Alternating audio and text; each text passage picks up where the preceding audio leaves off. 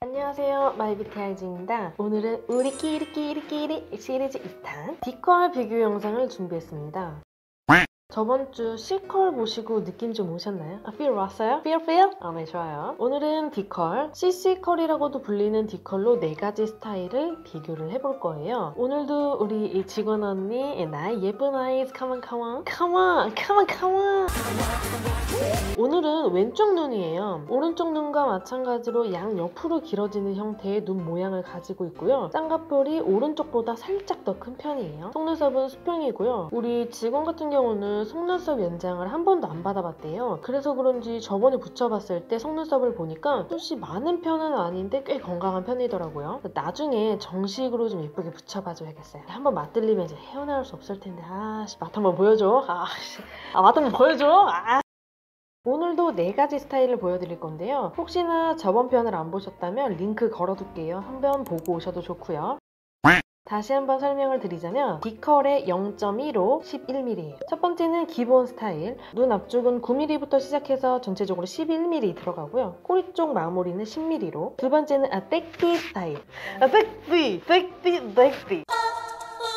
눈 앞쪽은 9mm부터 시작해서 전체적으로 11mm 들어가고 마무리는 12mm로 길게. 그리고 세 번째는 귀여운 인형 눈을 만들어 볼 겁니다. 그리고 네 번째는 포인트. 길이가 긴 lash 14mm를 중간중간 심고 그 옆으로 짧은 길이 9, 10, 11mm lash를 붙이는 디자인입니다. D컬은 어떤 느낌이 날지 C컬이랑은 어떤 차이가 있을지 좀 궁금하네요 첫 번째 스타일을 볼게요. 확실히 컬이 바짝 더 올라가서 같은 길이임에도 불구하고 더 길어 보이죠? 똑같은 11mm인데 느낌이 요래 다르네요. 좀 더 뷰러를 찝은 느낌이죠. 두 번째 스타일, 꼬리만 길어지는 디자인인데요. 역시나 C컬에 비해서 눈꼬리가 조금 더 휘어있죠? 섹시한 느낌도 더 추가가 됐네요. 참고로 D컬은 꼬리를 길게 하면 아이라인 한 듯한 효과보다는 눈매가 위로 올라가는 cat's eye 효과가 더 크게 나타납니다. 세 번째 스타일은 cute. D컬은 정면에서 보이는 길이가 C컬보다 더 길어지다 보니까 C컬보다 세로 길이가 더 길어 보이네요. 근데 저희 직원의 눈에 하기에는 살짝 과한 느낌이 좀 있는 것 같네요. 마지막 스타일은 포인트. 과할 정도로 긴 길이의 속눈썹을 심어준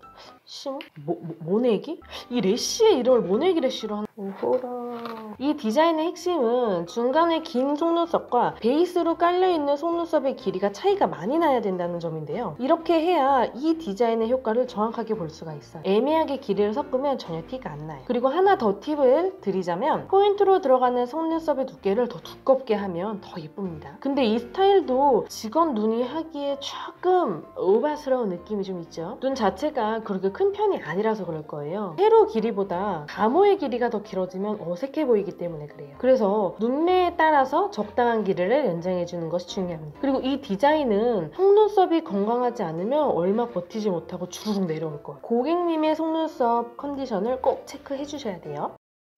D컬 비교는 여기까지. 오늘은 C컬과 D컬을 비교해봤는데요. 샵에서 C컬과 D컬을 너무 과하다고만 생각해서 잘 권하지 않거나 손님들도 말로만 들어서는 뭔가 눈만 좀 따라올 것 같고 좀 그래서 제가 이 영상을 통해서 말씀드리고 싶었던 거는 C컬, D컬이라고 해서 무조건 기피하지는 마시고 또 때에 따라서 좀 화려한 화장을 해야 할 일이 있을 때 적절하게 고객님께 권하면 좋겠죠. 그리고 붙이기 힘들다고 말씀하시는 분들이 있는데 박수진 선생님이 전에 아주 친절 and 상세하게 D컬 붙이는 방법을 알려주신 거 기억하시나요? 못 보신 분들은 한번 보고 오셔도 좋습니다. 전 진짜 도움 많이 받았거든요. 다음에 또 어떤 컬을 비교해볼까요?